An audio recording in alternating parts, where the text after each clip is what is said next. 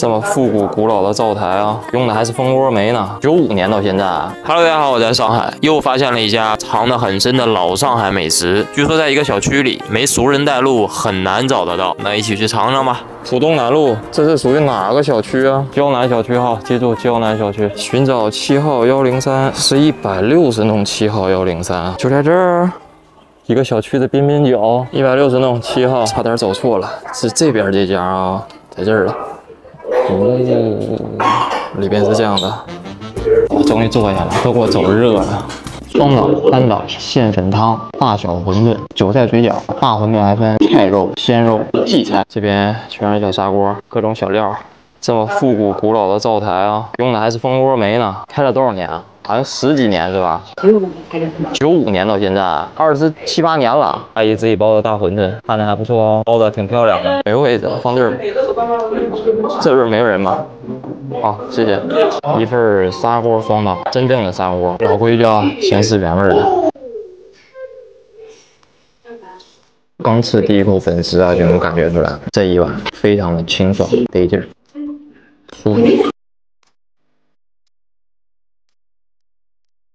粉丝的味道不错，我觉得不需要加辣椒啊、醋啊什么的吧。这个叫什么？百叶包肉是吧？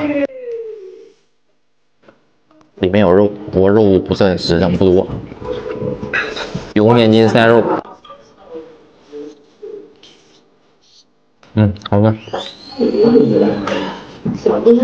油豆腐，小白菜。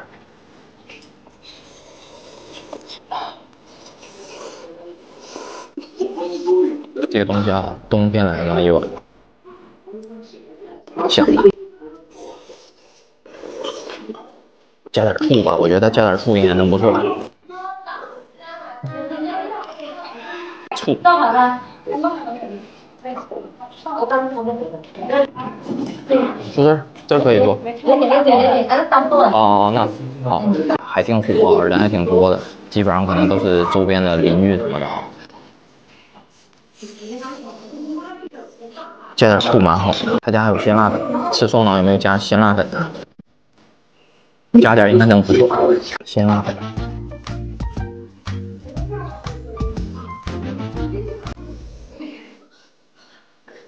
单档和双档区别到底是什么呢？到底是缺了油面筋塞肉呢，还是缺了百叶包肉呢？